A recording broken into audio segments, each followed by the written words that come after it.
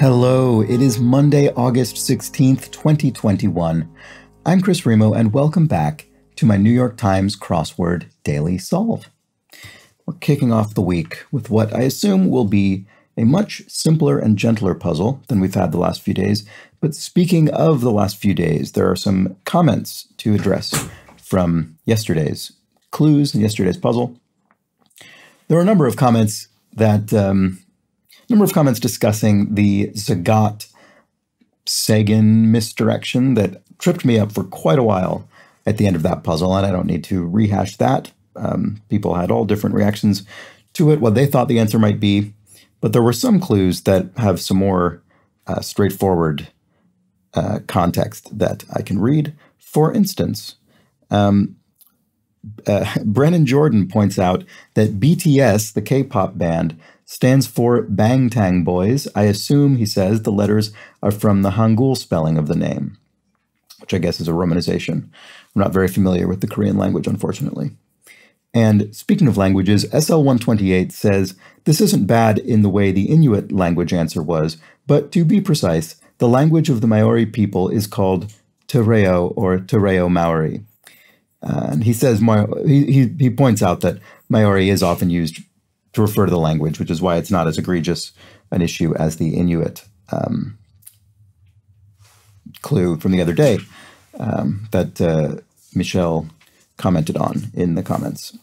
And then we have um, this isn't a correction necessarily, but it was a funny bit of trivia from Ethan W., who says, My favorite piece of Ipanema, Ipanema trivia, here referring to the, the girl from Ipanema, which was referenced in a clue yesterday, the song.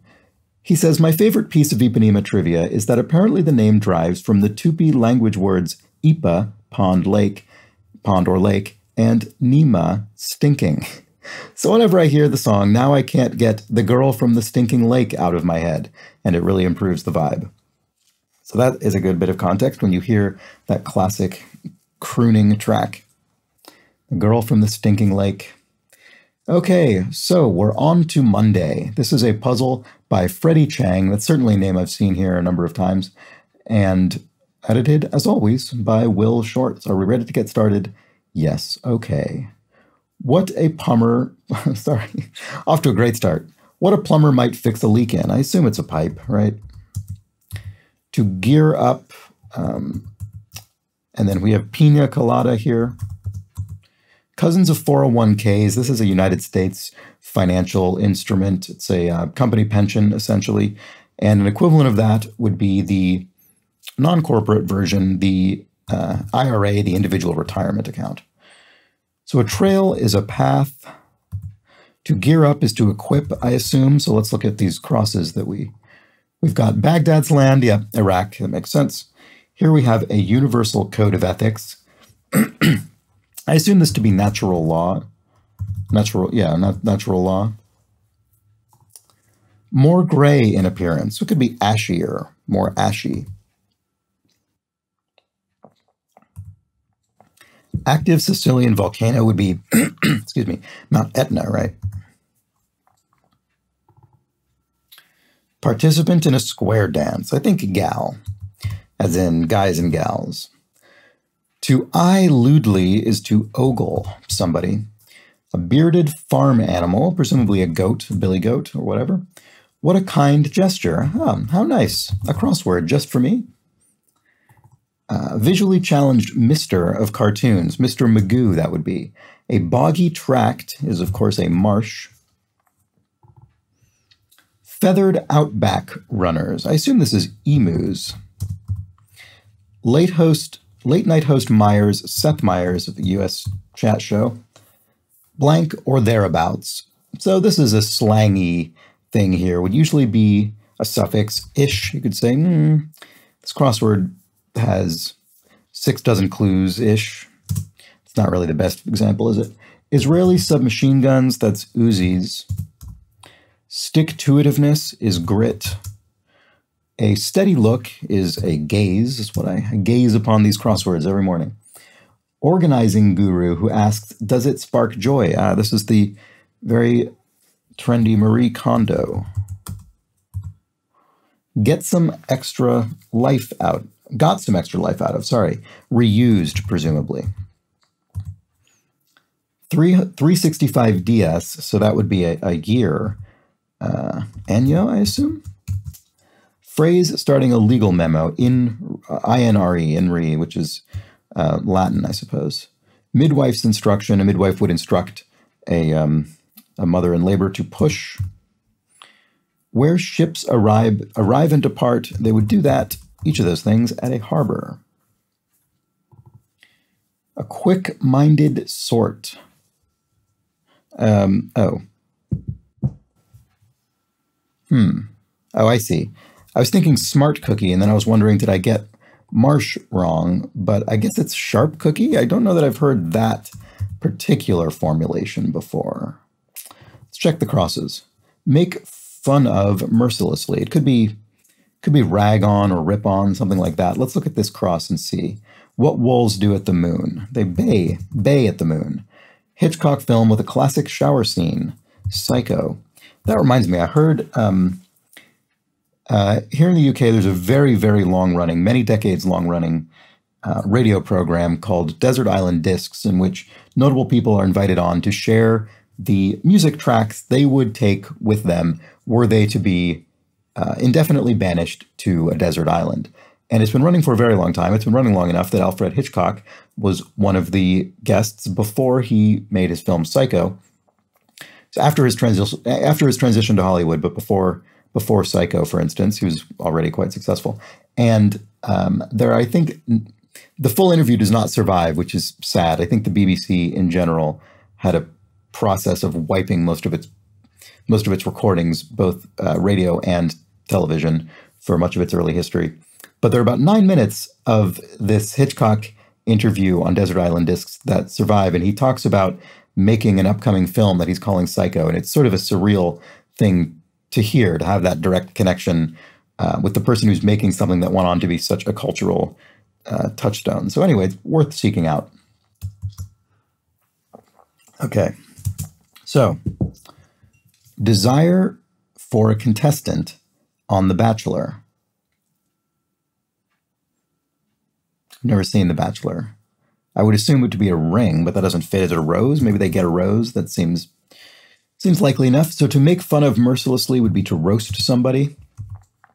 Let's jump back. We skipped a lot of clues. Let's jump back up here. Christmas month, Xmas month. It's, we've got two abbreviations in here, so the answer will certainly be abbreviated, and it's December. Blank planet, designation for Pluto, probably a dwarf planet, I would think. I suppose there's been a controversy over whether Pluto is in fact a planet at all, so if it is one, I guess it's a very small one. Put pen to paper to write. Uh, blank, blank blanc, Mont Blanc, um, an Alp, one of the Alps uh, mountains, but also a brand name for pens and watches and things. Like I for one. Uh, this is a Roman numeral for one. So, like, clever clue in that for one both means for example. In other words, this is a, an example of a Roman numeral, but also literally I is for one. So, very clever. Info from a spy would be intel, and Intel is an abbreviated form of intelligence, and we see that it's abbreviated because info is also an abbreviated form of uh, information. One of 27 Chopin piano pieces. This would be um, an etude, uh, which came up on a crossword recently. Uh, etude is a, uh, a, short piano piece intended for study, so it help exercise your scales and things like this. Um, I walked by um, a house where Chopin stayed in London uh, Nothing important about that. Just did that the other day. Language group of Southern Africa. I believe this is Bantu. Lacking with of, bereft of. Things that gears and crocodiles share. Well, they both have many teeth. A Kia Sportage or a Ford Escape. Uh, well, they're obviously both car models. Um, it's worth also noting that put pen to paper, it occurs to me, I'm not saying this because I know what this answer is yet, but it's but I it just before I think about it, put pen to paper could be present or past tense. It could be write or wrote. We don't know which it is, and I just say that because that opens up even further that that further um, gives some latitude here for whatever this answer is. Swashbuckling Flynn was Errol Flynn, famous early film star. Packing Heat, oops, sorry, I spelled his name wrong. E R R O L, not E. There we go. If we're packing heat, we're armed. A need for tug of war would be a rope. A long necked pear, this would be a. I actually don't know how to pronounce this. I've really mainly seen it written Bach, Bach, Bosch pear, Boss pear, Bosch pear. I assume it's Bosch. One who says that you're not on the ball. Oh, very clever. Very clever clue. A flat earther, someone who belongs to the bizarre flat earth conspiracy uh, group. I don't really know even what you'd call it. Movement, I suppose they are. A brand of water named after a town on Lake Geneva. It must be Evian, right? A conger, for one. That's a kind of eel, conger eel. Brand of bubble gum. Uh, let's let's come back to it. At the home of, and then we have FR meaning French. And when you see languages abbreviated like this, it doesn't mean the answer is going to be an abbreviation. I don't know why. Um, I don't know why it is that way. But this is not going to be an abbreviation. It is Chez, C H E Z. Uh, so Chez nous, nous meaning us, would mean our our place, for instance. Um, ba, ba, ba. Oh, I see. So this would this is probably a compact car. Uh, so the wrote is past tense. Sorry, the Kia Sportage or Ford Escape compact car. Toward the stern would be, on a ship would be aft. It's blank good cause. It's for a good cause. To possess, um, earn maybe civil rights pioneer parks. Uh, oh, whoops. Well, this would be Rosa. So compact. I guess it's not a. I'm not very familiar with these car makes. They must be. Each one must be a compact SUV as opposed to a compact car, I suppose. So that's what that is. One half of the McDonald's logo is an arch, and together they are arches. Oh, to possess is to have, of course. Yeah, silly. A pivotal point, that's the crux. Yes. Often the theme of a puzzle is the, the crux of the puzzle. To cancel as a show is to exit, you know, to cancel pretty much anything, I suppose. Brand of bubblegum. Oh, I see. It's bazooka gum. Um, King Kong and others are apes. Blank dead, Jim, much parodied Star Trek line. He's dead, Jim. Singer Carpenter or actress Gillan, well, Karen Carpenter, the uh, singer and drummer of the Carpenters. Jacket fastener, that's not a button, could be a snap. Raison d'être would be reason to be in French, E-T-R-E, être, the verb to be. Uh, pizzeria fixture, of course, you need an oven to cook the pizzas. Please allow me, if I may, if I may, I will fill out the remainder of this crossword grid. Oh, look at this. We have a theme, and I didn't even realize we had a theme. Um, let's see here. So, speaking of which, or where the starts of 1630 and 45 across can be found. So, speaking of which is surely on that note. On that note, let's look at the rest of this theme. So, Oh, I see. Yes, these are different kinds of notes. So natural law, a natural note. A natural note is a is a note that that is not sharp or flat, which are our next two theme components here: sharp cookie and flat earther. A sharp note is when the note in question is a semitone higher than the letter. So a G sharp would be um, on a piano. A G, for instance, is a white key, and the sharp would be the black key immediately to its right. It is sharp. It is one semitone up. And then similarly, a G flat would be the black key immediately to the left of the G, just, just down. And then a natural G is when it's neither of those, it's just the note. All right, so anyway, that's what that is. Very clever. Assassin of Old Japan, a ninja, I suppose. Heathland would be a Moor. Uh, squabbling. So if, if two people have, are squabbling, if siblings are squabbling, they're really at it. And longs for would be yens for, and then we can look at these crosses. Button at the start of a Zoom call, very timely clue to join. And the B, the A in BA would be arts, a Bachelor of Arts. And that is the Monday puzzle. This was, I would say, even for a Monday puzzle, probably on the easy side, but but that could just be me, and I would be quite curious to know how you fared. Uh, we had a nice fun little theme there. And unfortunately, I didn't see the theme until all of because the the theme clue didn't appear until almost the very end of the grid. I didn't end up unpacking the theme, so it didn't help us out with um, with any fills. Uh, but it's it doesn't really feel like the kind of theme that necessarily would. It feels like a theme that is more there um, uh, for its own sake than necessarily as a strong solving aid, and that's perfectly fine. Especially on a Monday puzzle, you don't really need all that much help on a Monday puzzle. Um, but let me know. Let me know how you fared with this one.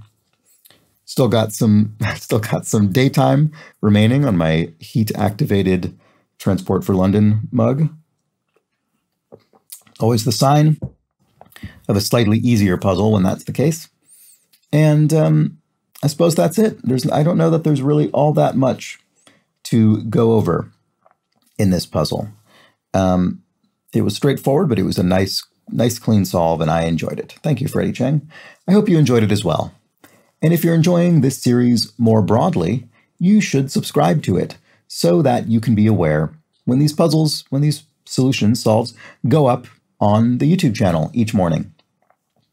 If you are, well, actually, if you're on Facebook as well, why not go like my page over on Facebook? It is a it is a small and nascent Facebook page with very little activity as yet, so you could get in on the ground floor.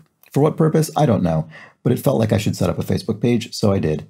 And um, if you want to pass this along, maybe you could pass it along via um, via Facebook, I suppose, or Twitter or whatever. And um, someone else that you know on the internet might enjoy it as well.